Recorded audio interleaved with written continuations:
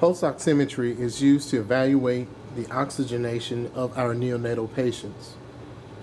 It gives us a good baseline value so that if we were to compare it to an arterial blood gas or if we were comparing it to a capillary blood gas, then we would be able to evaluate the appropriate oxygenation status for our patients. From a position standpoint, we have a couple of areas where we could place our probe. What you see right now is the traditional oximeter probe that we would place on our adult patients. Previously, we did learn that we place this on the patient's finger or their toes. But for our neonatal patients, as we can see that our probe is too large to place on their delicate fingers or toes. So therefore, we have a different type of oximeter probe that we use. With this one, it actually appears to be somewhat like a Band-Aid. As you can see, the words SpO2 are on top.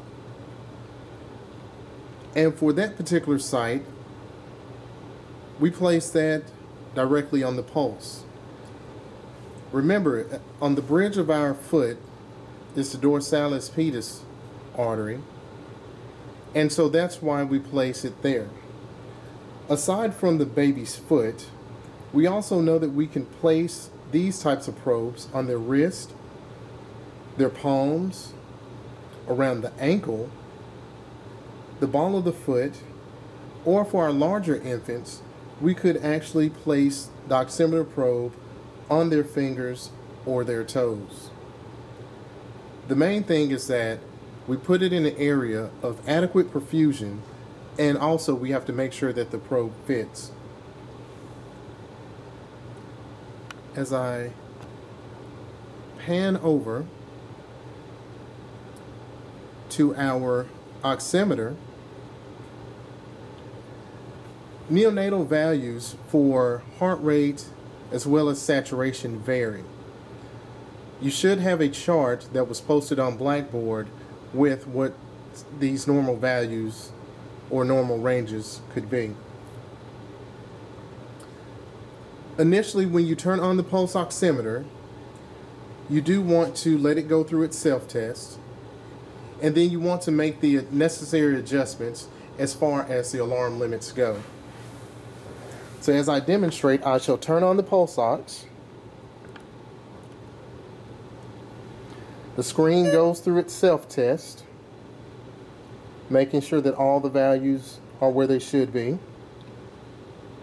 Now some pulse oximeters require that you change them from adult mode to neonatal mode. With this one, you don't have that as an option, but what you do have to take into consideration are the alarms. The way that you set your alarms accordingly, we press the alarm button, press and hold,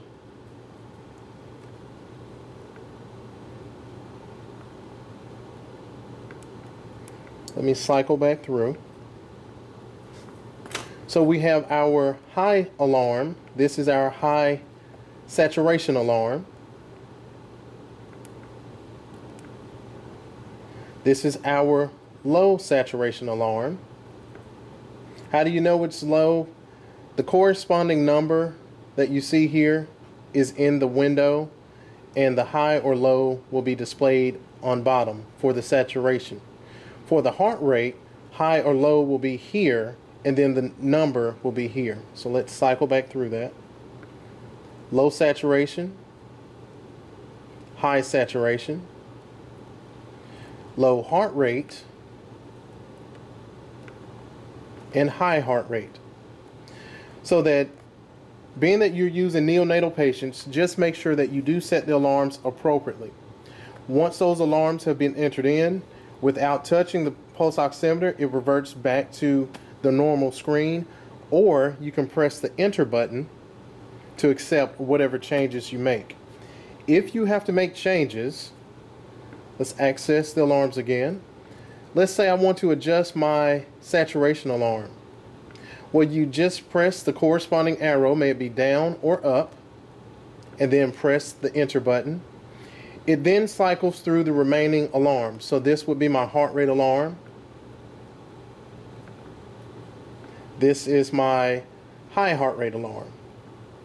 Once I'm satisfied, I can press the enter button or I can just leave the machine as is and it will automatically revert back to these settings. So that is the pulse oximeter. From an indication standpoint, if our patient is suspected of having hypoxemia, definitely we're going to use a pulse oximeter. Also, if we're going to monitor the adequacy of any type of arterial saturation um, that we normally would compare to the oxyhemoglobin curve or the oxygen dissociation curve, then we would use a pulse oximeter for that. Some of the factors that adversely affect the pulse oximeter readings would include, of course, the ambient light, uh, any type of motion, which is very key. It's key in our neonatal patients because babies, when they're sleeping, uh, sometimes they still move around those little hands and, and feet. So, motion artifact is something that we have to take into consideration. Also, if the baby has abnormal hemoglobin, uh, and we will talk about hemoglobin and its affinity uh, when we talk about the O2 dissociation curve, how that could adversely affect the readings that you will see.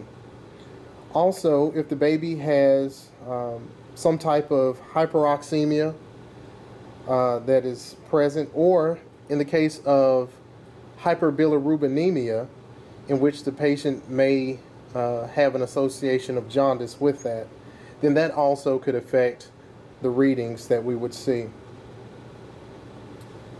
From a range standpoint, similar to that of our COPD patients, we are mindful that the ranges that we would see or expect to see vary according to our baby.